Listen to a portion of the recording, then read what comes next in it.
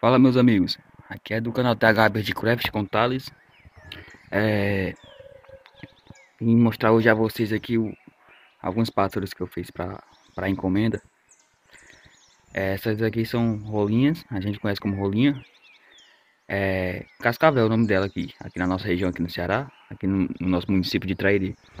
Em alguns nomes são rolinha fogapagou é, Rolinha pedrez Aqui é, é rolinha cascavel, aqui é, do, é um casal de rolinha. E tirando as rolinhas, tem João de Barro também, um casal de João de Barro. Tem um descansando e um com esse aqui tá com a perna para fora, a coxa, como vocês podem ver, e o outro tá descansando. E tem também aqui o galo de campina e o pica-pau galo de campina, como, como vocês podem ver, e o pica-pau, pica-pau de cabeça vermelha. Aqui, aqui na nossa região, no nosso município, tem o pica-pau de cabeça vermelha, que é esse, e tem aquele outro, do topete amarelo. Ele é bem difícil, esse, esse da cabeça vermelha é bem difícil de a gente encontrar por aqui. Aí, como vocês podem ver, que foi uma encomenda.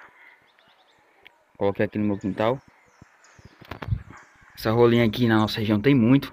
Tem aquela rolinha branca também, aquela cinza. Tem aquela rolinha marrom que a gente conhece como caldo de feijão. E aqui é tudo tamanho original. Embaixo do pezinho deles, todos os pássaros que eu faço, coloco esse essa sobra, né, que é para você poder colocar no poleiro, no troféu, no chão, se preferir. E aqui pode pegar chuva, não tem problema. A tinta não arde. E aí então é isso, galera. Ali o João de Barro ali não teve nenhum para eles, foi a pessoa que me encomendou não preferiu só os pássaros mesmo, sem troféu, sem nada. E aí eles estão assim, ó. É muito legal, né? Então, galera, é isso. Vocês deixem o like no canal, tá?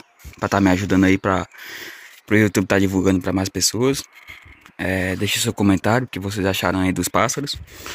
São todos de madeira e de rabo de garrafa pet, também original. É, compartilhem para os amigos de vocês, tá bom?